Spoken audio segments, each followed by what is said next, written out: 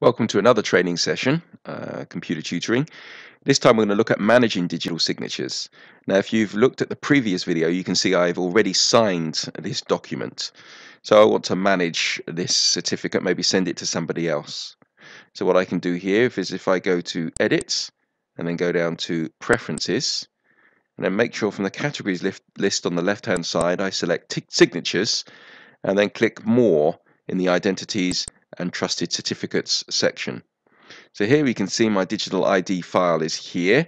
This one here is from a Windows certificate store. In fact, just to emphasize the point, I'm just going to expand digital ID files on the left hand side and click on Simon PFX here. That's just identifies or focuses in on uh, my local uh, signature. So say for instance now what I want to do is send this to somebody else so they can validate my documents. So I click on export here at the top and I'm going to, rather than email the data to a file, I'm going to save the data to a file. I'm going to click on next and here's my um, uh, this is where I'm going to save it. I'm going to save it on my desktop. In fact, here's one I've already got. Cert Exchange Simon Cubbin FDF. So I'm going to click on Save. Yes, to replace existing file. And then it's saved and it's exported.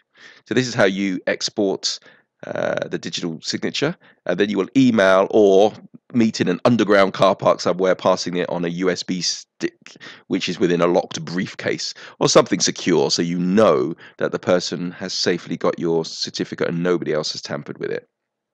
Thanks very much for watching. Please watch for more Adobe Acrobat videos on our website.